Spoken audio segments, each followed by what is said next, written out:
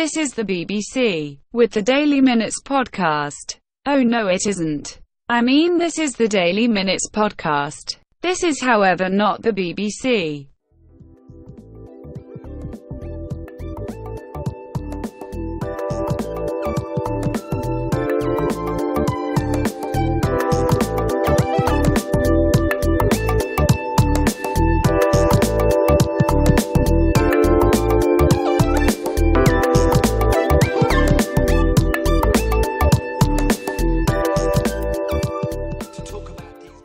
Daily Minutes podcast. Het is 28 september 2019. Dit is bulletin van zaterdag. Het is een onvoorstelbaar vroege uh, Daily Minutes. Uh, het is, uh, je gelooft het niet, half zeven. Net na half zeven s ochtends op zaterdag. En ik had gezegd dat ik nog een verhaaltje zou doen. Dat is gisteravond niet gelukt. Ik was gisteren niet goed bij stem. En ik ben nu wel goed bij stem. Gek genoeg. Want s ochtends wil mijn stem meestal niet ik moet toch mijn kat een keer afleren om me zo vroeg wakker te maken. Op zich is het goed, want ik uh, zet de wekker vaak om zes uur. Maar um, ja, ik was zo zagrijnig als die beesten be bezig blijven. Om ze te ontmoedigen geef ik ze s'nachts nooit eten. Maar dat helpt niet echt. oh, oh, oh. En dan ben ik s ochtends mijn tanden aan het poetsen en een kop koffie aan het zetten. En dan, oh, dan zijn ze vervelend. Dan hangen ze aan mijn broekspijpen, mijn t-shirt en nou, noem maar op. Um, ik wil een vervolg uh, gaan maken voor de geïmproviseerde Daily Minutes van eergisteren. Ik hoop dat dat lukt. Kuch, kuch. Nou, ik hoop dat ik erin slaag. Even kijken, waar zit ik? 1 minuut, uh, ja, 1 minuut 30 na het begin. Moet ik even een kuchje weghalen. Dat moet ik even onthouden. um, ik, had het, uh, ik had het gisteren over de ATV-zender die ik maakte begin jaren 80. Um, op 3 maart 1980 uh, sommige mensen zullen dat nog weten, werd de machtigingsregeling Algemene Radiocommunicatie van kracht. Je kon toen voor 35 euro op het postkantoor een vergunning kopen. En daarmee mocht je een uh, 27MC bakje hebben en gebruiken. Uh, 22 kanalen in het begin, half wat. Het was niet veel, maar het was enorm populair. Het was echt ongelooflijk. Het is nu bijna niet meer voor te stellen voor zo'n eenvoudig uh, apparaat. Maar uh, nou ja, sommigen hadden heel veel knoppen. Maar ehm, ja, ik had een Hicom CB4000. Ik weet niet of de mensen dat nog wat zegt. Met een bekende cybernetprint van binnen. En uh, daar zaten soms knoppen op. Uh, sommige van de knoppen die waren echt absoluut onnodig. Dan kon je wel iets mee regelen. Ik weet, ik weet niet meer precies wat. Maar uh, dat, dat, ja, dat was gewoon erbij getrokken. Maar die dingen waren echt heel duur. 4 of 400 gulden of iets dergelijks. Maar goed, het was, het was zo populair dat bij V&D, wie kent V&D nog, dat bij V&D kon je die bakjes kopen. En uh, Ram had een actie met Frits Bom samen, de, uh, de ombudsman. En uh, het was in die tijd, ja, het is in de huidige tijd onvoorstelbaar. Ik heb het eens met iemand erover gehad die in de, zeg maar, qua werk in de uitkeringen zat. En het was zo dat in de jaren 70 en 80, als je een uitkering van het GAK had, dan kon je bijvoorbeeld als je slechte been was, een uh, auto van het GAK krijgen. Die kon je dan lenen en dan, ja, dan was je daarmee, uh, dat, dan kon je daarmee beter uit de voeten. Dat is iets wat nu onvoorstelbaar is, dat iemand met een uitkering die afgekeurd is, over zoiets zou kunnen beschikken. Maar um, er waren geen mobiele telefoons, er waren nog geen pagers. Um, er waren wel iets van wat op mobiele telefoons leek, maar dat, dat stelde niet zoveel voor omdat dat verschrikkelijk duur was en voor niemand te, te, te, te verhapstukken. En het leek uh, de 27 MC-clubs, uh, inclusief RAM, uh, wel een goed idee als alle gehandicapten over een 27 MC-bakje konden beschikken. En er is toen actie gevoerd om die bakjes gratis, om, om die mensen gratis een bakje te kunnen geven. Want ja, de gedachte was als ze aan de langste kant van de weg staan, iemand die is slechte been, die kan de auto niet uit. Of in ieder geval niet gemakkelijk. En zeker als het slecht weer is of langs de snelweg. En met zo'n bakje heb je snel hulp geroepen.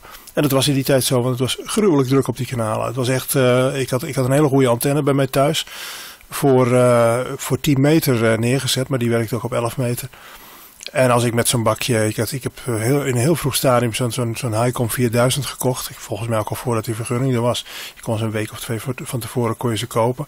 En we waren natuurlijk erg nieuwsgierig als centamateur. Maar als ik bij mij de microfoon indrukte, in de drukke periode, dan hoorde je een hele golf van signalen als ik de microfoon uh, losliet. hoorde je een hele golf van signalen opkomen van allemaal mensen die protesteerden dat ik hun gesprek had uh, verstoord. Hè?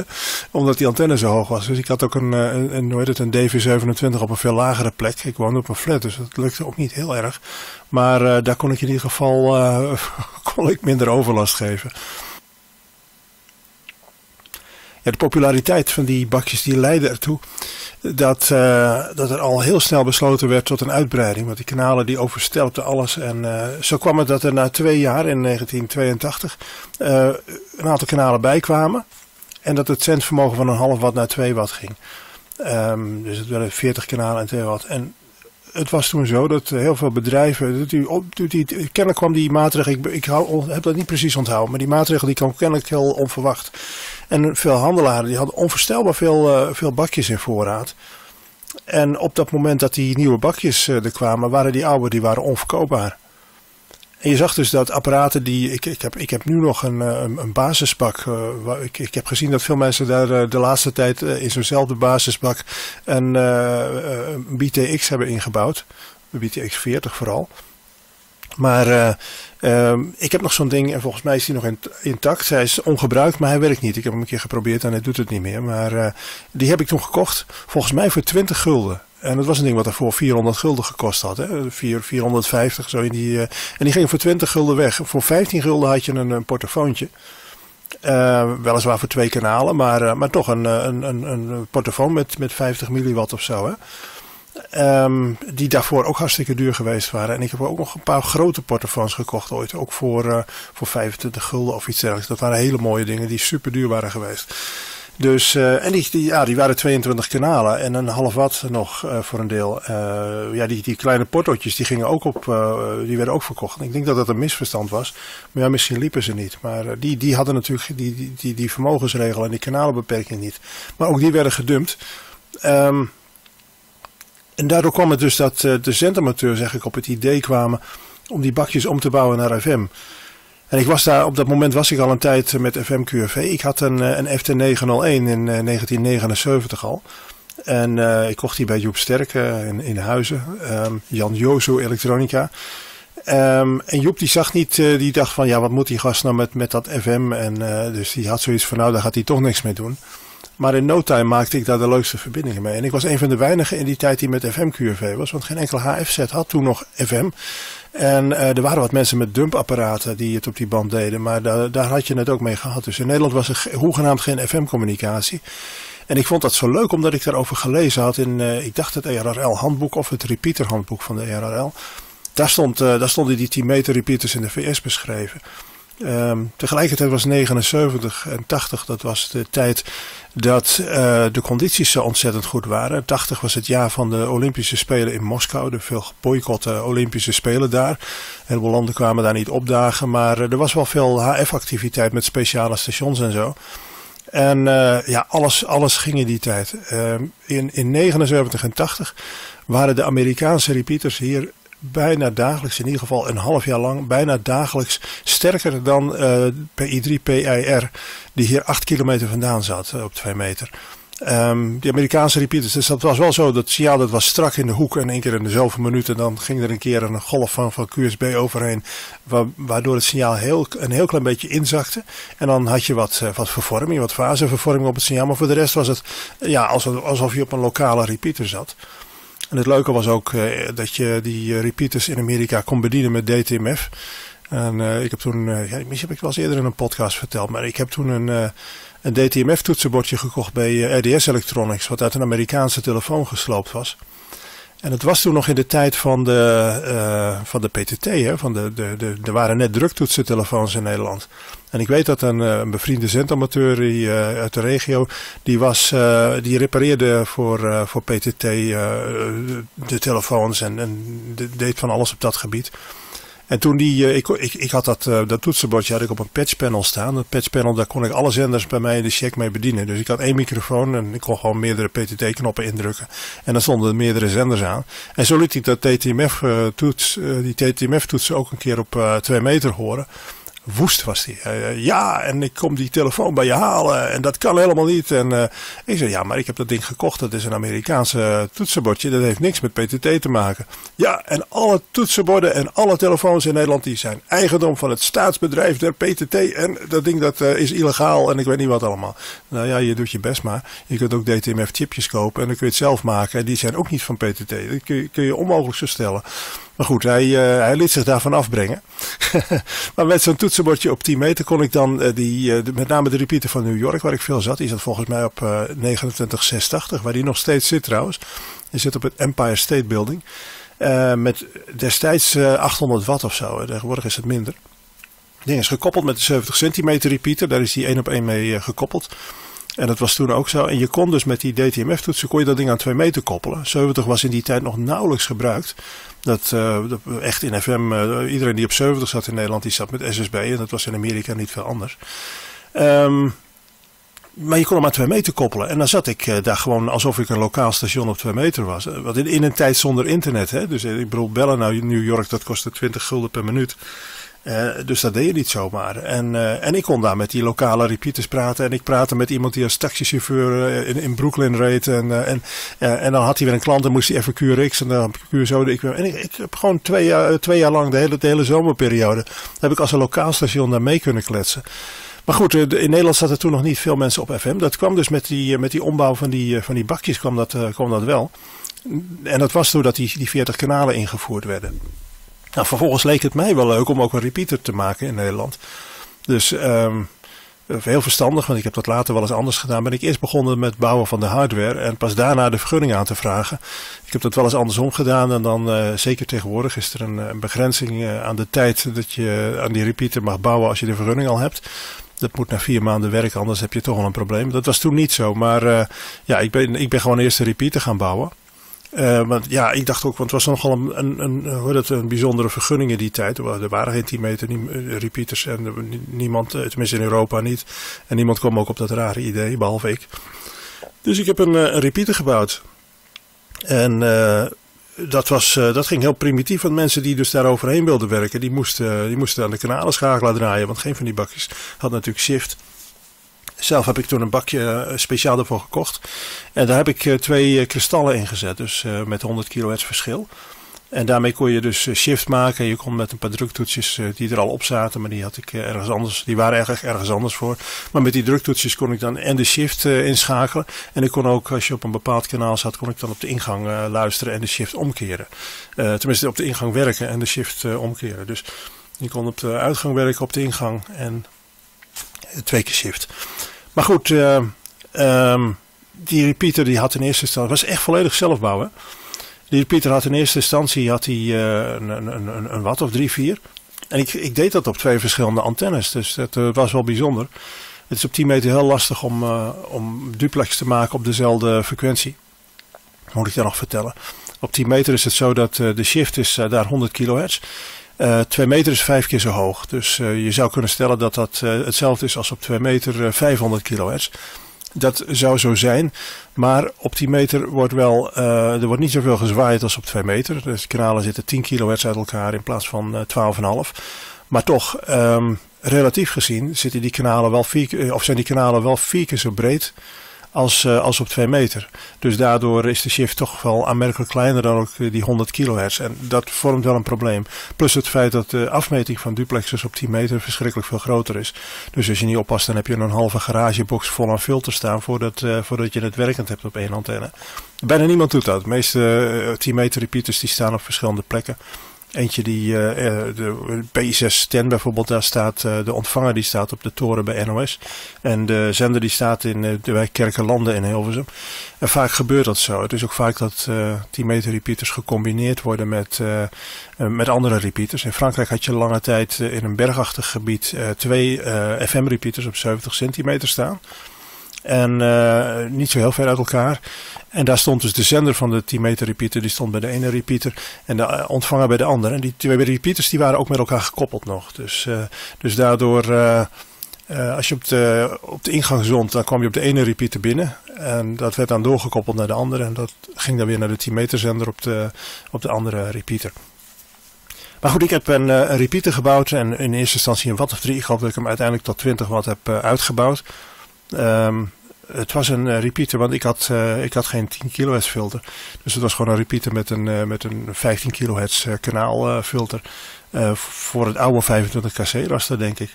Maar goed, dat, het was niet druk op 10 meter en de condities waren inmiddels ingestort. Dus dat was niet een groot probleem.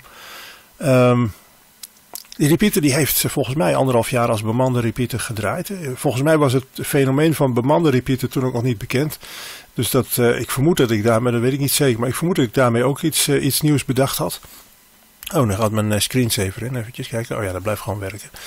Maar, dus het was, een, het was een bemande repeater, maar ik was in die tijd, ik zat er nog in de tijd dat ik behoorlijke gezondheidsproblemen had en, en niet kon werken. Dus ik was eigenlijk wel heel veelvuldig thuis. Um, ja, die Pieter heeft twee jaar of zo gedraaid. En de grap daarvan was dat uh, er zat een rotjepiep in. Dat zou ik nu niet meer zo doen.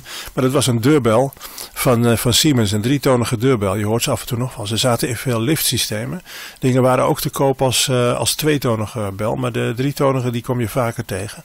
Volgens mij heeft mijn moeder nog steeds een deurbel met zo'n chipje wat ik in die tijd gemaakt heb. En nou weet ik ineens ook het nummer weer. Een SAB 0600 was het volgens mij. Uh, dat chipje. Dat was een, een achtpolig, achtpolig uh, chipje. Dat is een uh, NE555, zo'n zo'n behuizingen. En ja, daar, daar, zat de, laag frequentversterker zat er al in. Dus wat, ik, wat ik voor mijn moeder gedaan heb, is een simpel lichtnetadaptertje. Een, een luidsprekerboxje van een oude grammofoon gebruikt. die had je dan in die tijd nog over. Tegenwoordig wie weet nog wat een grammofoon is. Maar en dat boxje, dat, uh, ja, dat, daar komt 3 watt op en er komt echt, komt echt veel geluid uit. Maar goed, dat had ik als rotjepiep. Dus, uh, en die repeater die werd gebruikt, want de activiteit op 10 meter was heel behoorlijk uh, hier lokaal. En uh, veel mensen vonden dat gewoon een leuk fenomeen. Het droeg niet zoveel bij, want ik, ik, zat wel, ik zat wel redelijk gunstig. Maar toch ook weer niet zo dat het nou een echte goede repeater locatie was. Ik zat met de antenne op uh, eh, 35 meter hoog of zo. Maar het was in, de, in, de, in de regio hier bruikbaar. En het was toch een leuk ontmoetingspunt op, op 10 meter. Bovendien, ik was er altijd. Dus als we een tegenstation nodig hadden, dan, dan kwam ik altijd wel retour. Um, uiteindelijk heb ik geprobeerd om vergunning ervoor te krijgen. Um, maar daar was de radiocontroledienst niet voor in. Die zagen daar niks in. Geen repeaters en de aanverwante zaken op de korte golf was toen de gedachte. En dat ze dat in Amerika deden, ja, dat deden ze wel meer gekke dingen. Phone patching, dat mag hier ook niet. En je hebt in Amerika ook repeaters waar niet iedereen toegang heeft. Dus je kunt uh, in Amerika kun je een repeater uh, oprichten en dan zeggen van nou, alleen de mensen van mijn eigen clubje of alleen de mensen die meebetaald hebben, die mogen op die repeater en andere mensen mogen dat niet. Nou, dat is hier in Nederland niet, uh, dat krijg je vast niet voor elkaar. Maar goed, uiteindelijk kreeg ik geen vergunning en dat was een beetje een teleurstelling. Um, en toen is eigenlijk de lucht er een beetje uitgelopen. De activiteit op 10 meter liep wat terug. En op een gegeven moment heb ik het ding gewoon uitgezet. En uh, in plaats daarvan heb ik toen een baken gebouwd. En de, de, grap is dat baken, dat bestaat nog steeds. Ik heb dat baken eerst anderhalf of twee jaar uh, ook bemand uh, laten werken. Maar goed, ik zette hem eigenlijk nooit uit. Die repeater die schakelde ik uit als ik wegging. Ik ging toen iets vaker de deur uit, maar ik was nog wel heel veel thuis. Maar het baken, dat vond ik, dat moest altijd aanstaan vanwege het propagatieonderzoek. En uh, ja, uiteindelijk uh, was het toch wel belangrijk om daar vergunning voor aan te vragen. Dat, dat heb ik toen gedaan. En dat baken, dat werkt dus nog steeds. Um, ja, dus nou, tot, tot, zover, tot zover dit verhaal. Ik geloof dat ik het iets minder of iets chaotischer verteld heb dan dat ik het vorige verhaal verteld heb. Maar over, de, over de ATV-zender. Misschien dat ik er nog eens meer doe. Dit is toch wel aardig om als improvisatie. Het kost in ieder geval veel minder... oh, nog. Daar gaat mijn wekker.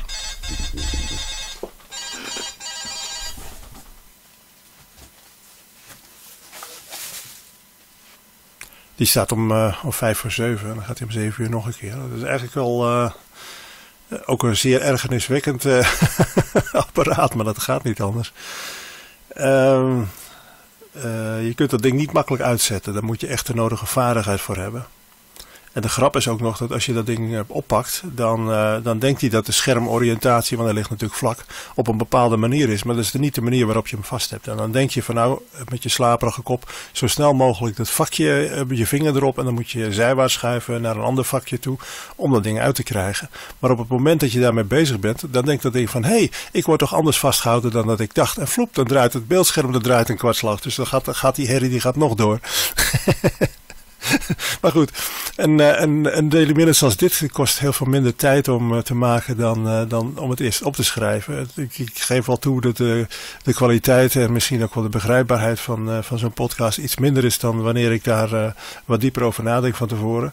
Um, ik, ja, zo'n tekst schrijf ik op en dan, dan edit ik hem nog een keer. En vaak is het zo dat ik, ja, zo'n tekst is niet zo goed als een, als een uiteindelijke tekst als ik hem zou publiceren als tekst. Dan wordt er een keer of drie nog extra naar gekeken. Maar terwijl ik het oplees, kom ik vaak ook nog dingen tegen die niet kloppen. En die lees ik dan ofwel zonder het aan te passen anders op, als het kleine zaken zijn. Of ik, het, wat ik oplees, dat ontspoort een keer en dan knip ik dat gedeelte uit de uitzending. Daardoor kost het natuurlijk ook meer tijd. die uitzending van, van gisteren, die, van ja, eigenlijk is het eergisteren, over ATV, die heb ik eigenlijk zonder montage verder. Ik heb in het begin zat er een pauze in, die heb ik eruit geknipt. En dat was alles. De hele uitzending is in één keer doorgegaan. Er zit hier eentje in tot nog toe, waar ik nogal langdurig kuch. Dat zit, dat zit aan het begin, dat zei ik ook. Ja, daar ga ik een stukje uithalen, want al dat gekucht, dat hoeft niet. Maar goed, mijn stem is nog niet helemaal wakker. Um, maar voor de rest uh, kan ik deze volgens mij ook zo uh, publiceren. De opname loopt nu 21 minuten. Daar zat volgens mij een minuut voor wat er af kan. Waarbij ik wat uh, dingen testen.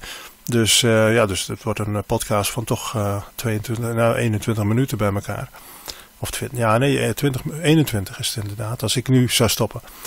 En ja, dat kost dan toch betrekkelijk weinig moeite. Dus als ik een verhaal heb wat ik op deze manier kan brengen, dan ja. Um, dan is dat uh, toch wel handig om in tijden, in ieder geval in tijden dat er geen. Uh, en u uh, ontspoort het nog een keer. Maar als ik een verhaal. ik moet dus knippen. Maar als ik een verhaal als dit heb. Wat ik, waarvan ik van tevoren weet. van nou dat, dat kan ik op deze manier vertellen. desnoods met een lijstje met steekwoorden. Dan kost dat wel ontzettend veel minder tijd dan, dan een uitzending opschrijven.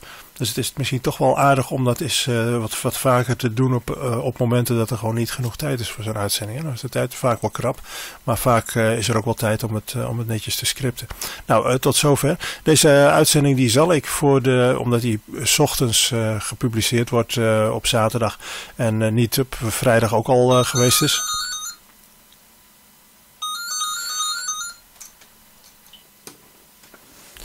Moet bekennen dat ik ook de, de wekkers die gaan. Dit is, uh, dit is een andere wekker. Um, dit is mijn, uh, mijn vaste telefoon. Die, uh, het zijn twee toestellen. Als je die instelt, dan gaan er twee toestellen. Maar goed, um, op die manier word ik wel, kom ik, ga, ik, ga ik mijn bed wel uit. Hè. Um, normaal, ik zet hem toch wel vaak, zet ik die dingen alvast uit als ik, als ik vroeg opsta om zes uur. Maar dat heb ik nu niet gedaan. Ik werd nu uh, enigszins na de wekker waar ik doorheen geslapen was door uh, Roderick uh, op een zeer indringende wijze uit mijn bed geklopt. En nou ben ik vergeten wat ik aan het zeggen was toen de telefoon ging. Nou, het zal wel niet, niet zo'n bezwaar zijn. Um, oh ja, over de uitzending. Of de, ja, over de podcast is het tegenwoordig. Moet ik zeggen. Maar uh, wat ik nou wilde zeggen. Kijk, dit soort gemijmer heb je niet als je het script. Hè? maar wat ik nou zeggen? Oh ja, nee. Uh, wat ik ga doen is deze podcast voor die van vanavond zetten. Ook nog. Dus ik, hij draait uh, om, om 8 uur, om 9 uur, om half 11 op dmr.li. Maar daarnaast uh, draait hij morgen ook, omdat ik hem voor de gebruikelijke uitzending van vanavond zet. Dus dit is de eerste uitzending van zaterdag. En dan komt er nog een tweede achteraan met uh, ja, waarschijnlijk uh, het, hoe het met Radio Newsline en nog ander nieuws in het Engels, zoals ik dat gebruikelijk doe. Maar goed, dan hebben we een forse uitzending. Dan moet ik haast dat gedeelte wat gaan inperken om te voorkomen dat ik voorbij de uurgrens kom. Hè. Nou, ik ben wel erg spraakzaam op de zaterdagochtend. Ehm, ja, tot later op de dag. This podcast is made by myself. I'm Peter John in English Media. Title music is by Croatian artist Blasco and is published under Creative Commons. You can find this podcast on dmpodcast.net, DM is for Daily Minutes, and on several other platforms. De internetfaciliteiten en studiohardware voor Daily Minutes worden gesponsord door 70mhzshop.nl. 70mhzshop.nl. Daily Minutes Podcast. Whoever hears this is crazy. En microfoon naar retour.